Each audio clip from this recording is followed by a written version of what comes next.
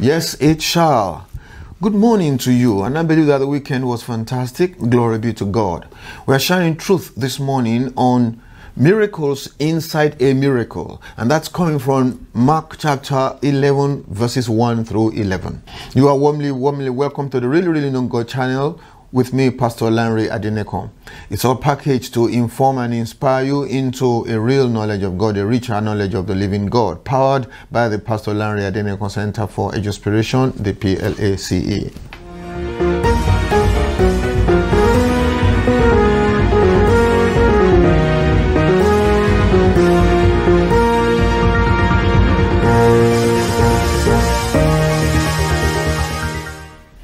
This is the Diligent Devotional, making you a gem to your generation and a gemstone upon the crown of our Lord Jesus Christ. Amen. If you desire to really understand this fantastic God of ours, this is your favorite channel. Yes, we are praying. Our Father and God, we bless you worship you and give you glory and honor and praise. We ask, God, that these few moments together will be of great benefit to us all. Thank you, Father. In Jesus' name we pray. Amen. Mark 11. now, when they drew near Jerusalem to Bethphage and Bethany at the Mount of Olives, he sent two of his disciples, and he said to them, Go into the village opposite you. As soon as you have entered it, you will find a colt tied on which no one has sat. Lose it and bring it. If anyone says to you, Why are you losing this? Say, The Lord has need of it. And immediately he sent immediately he will send it here. So they went their way and found the colt tied by the door outside the street, and when they loosed and they loosed it. But someone of those who stood there said to them, What are you doing, losing the colt? And he spoke to them just as Jesus commanded, so they let them go. Okay, they drew near um, Jerusalem, and um, there was some uh, this little village somewhere not far from Jerusalem. Okay, and um, from from there he sent two of his disciples to go and do something. First, here we see again how that Jesus always um, sent a minimum of two people on whatever it was he was asking them to do. Either two people to go and do this or go and do that, or when they went out, they went out two by two. So we, we learn from Jesus the importance of teamwork. Um, working as a team, it's a fantastic thing, it's a beautiful thing, it's something of great advantage. And we find out the Lord Jesus Christ, you know, was into uh, that kind of a thing. He would always send them at least two of them I think uh, we should learn. It was teaching them the importance of teamwork. It was teaching them to learn to work with one another. It was teaching them to know that two are better than one, and that um, you know, um, just like the Bible says that one will encourage the other, one will assist the other, one would uh, complement the other, and on and on and on. Two, always two. Go and get a hall for us to use two. Go and do this or that two, two all the time. Okay, send them into uh, the village opposite you. And then you know this implies that they, they, they, they waited they stayed around while these two went on on that particular errand. In other words they were that sure. He was that sure that that they would return with the court. And anyway they were going to wait for those people anyway. So he also spoke ahead. Go and find you will see a court tied on which no one ever sat. Lose it and bring it. There's so much to learn from this particular passage Jesus knew that there was a court there. He knew the particular address where the court the court would be, if you like, and then he knew also that uh, nobody ever sat on that on that little animal.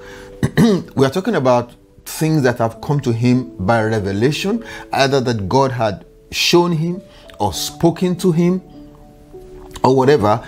But everything that he was talking about, it was something he was so very sure and so very precise about go into the village um, just opposite us there.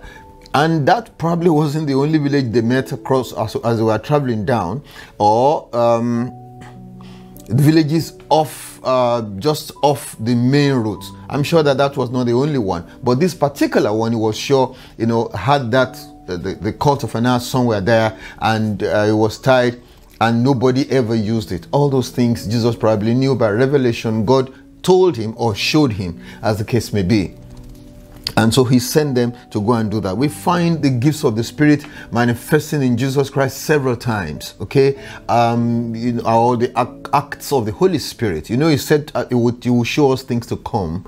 You know, and some of these things that the Holy Spirit would would do, we find them manifesting in the life of Jesus many many times, and it's important for us to use that and pray and desire and covet, like the Bible says, and pray that these things will also operate in our own lives as well, like that in the name of Jesus Christ. And by the grace of God, we are going to see a lot more of that as we go into the end times it's not just uh, the negative stuff of the that we find in the bible that we should expect at the end times. The great things that the spirit of god will do at the end times we should emphasize upon rather than these care tactics and the things that uh, um, people go on talking about things that could scare you that are great things coming to, going to happen at the end of time. One of them will be the, the great operations or great dimensions of the operations of the holy spirit. We're going to see them you know uh, coming out and then it says lose it and bring it. Now if anybody says to you in other words it didn't say when it says if there was a possibility that they would they would just ignore them. There was another possibility that they would say something to them.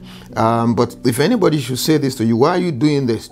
Just tell them the lord has need of it and immediately they will release it. Again all these things came by revelation so much so that he gave them a word to answer uh, whoever would ask them what in the world they were doing there. And it went exactly like that. Uh, we don't need to uh, go on and emphasizing over again. The, the roles of the gifts of the Spirit there. So they did, um, they went that way found it exactly as Jesus had spoken about it, and they lost it. And some of them said, Why are you losing? And they answered according to what Jesus had said, and they let them go. And so uh, they brought the call to Jesus and threw their clothes on it, and he sat on it. And many spread their clothes on the road, others tore down leafy branches from, trees and, sp- spread them on the road. And uh, those who went before and those who followed cried out, Hosanna, blessed is the one who comes in the name of the Lord. Blessed is the King, name of our father David, that comes in the name of the Lord. Hosanna in the highest. Jesus went in unto Jerusalem into the temple. And so when he had looked around at all things, and as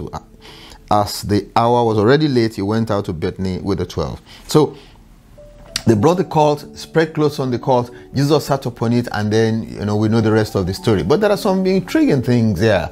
Now, a colt on which nobody ever sat. The first time, the first person that will sit on that colt would, would have issues because he was not used to that. They uh, there's something um, similar, close to what we call breaking in today that you need to do when you are when you are going to use a donkey, when you're going to sit upon a donkey. The first time somebody sits upon a donkey, the donkey attempts to throw that person off or just buckles under and tries to get out, you know, from under the person. He was not used to that. Nobody ever did that to to to, to the donkey. That's the first thing that happens with any donkey. You try to sit upon the donkey, or he will try to get either get off from under you or throw you off or his back. But this donkey was a very interesting one, um, located in a particular place. Some people were around it, and everything happened exactly as Jesus spoke. They brought the donkey, they put clothes upon the donkey, and Jesus sat upon the donkey, and the donkey never reacted. Very interesting donkey, praise God. So you see, uh, when God is behind something, when God is the one arranging something for you, or yes, when His hand is involved involved,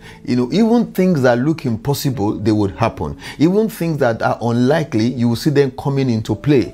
Hallelujah. A, a, lot of a lot of things we can say about this. And so that could encourage somebody here this morning as you are listening to us that that which the Lord has arranged for you, it will click. Even when it looks as if that is not likely for you it will happen. Even when it looks as if I this is likely to be the result that result for some reason supernaturally would be will be circumvented or covered in your case because it's, it's the doing of the lord is the finger of the lord in operation. That's what happened with this particular donkey. He wouldn't throw this person off. He wouldn't um, buckle under and try to escape from under the person sitting on. He just acquiesced and then followed up exactly the way the lord wanted. And somebody would have uh, that miracle this morning in the mighty name of Jesus Christ. So, um, and then they began to worship. Uh, some of them spread their clothes on the way. Some of them cut down leafy branches, you know, from trees and spread them on the road. Again, we see some two things here. Some people they were they were so impressed and they were so grateful that this person has done so much in their lives and he had never really wanted uh, thanks or appreciation or anything. On this one occasion, let us give it all. And so some of them pulled off their clothes and put it on the floor. You know, let, let just ride upon my clothes. Some who had no clothes found something to put on the floor. Some of them uh, peradventure they had clothes, but no, they were not going to put their clothes. They're going to use uh, uh, leafy branches rather, and they did so. So we see, you know, something here do for God as you're within your power, as you are able to do for Him. You don't have to copy somebody the way somebody goes about his things and try to do your own that way. It doesn't have to go that way. If you have give what you don't have you cannot you cannot offer so some people put their clothes on the on the ground. Some people did not put their own clothes on the ground because they really couldn't afford it, and so they got leafy branches and put on the floor. Uh, you know, just to honor the Lord, honor the Lord to the best of your ability. You don't have to do it and copy somebody or take after somebody in particular, or as the Lord has laid upon your own heart, just do. Other people, peradventure, they didn't even lay anything on the floor. All they did was to sing and to clap and to hail and all that. If that's the one you can do, please just do that which you can do. Um, what really matters is what is coming from inside your heart, and God accepts it according to each person. That's what we, we, we learned in the book of Second Corinthians the other time. You know, God accepts accept it according to your person. Okay, so he rode into Jerusalem. It's another, it's a one final lesson we're going to talk about today.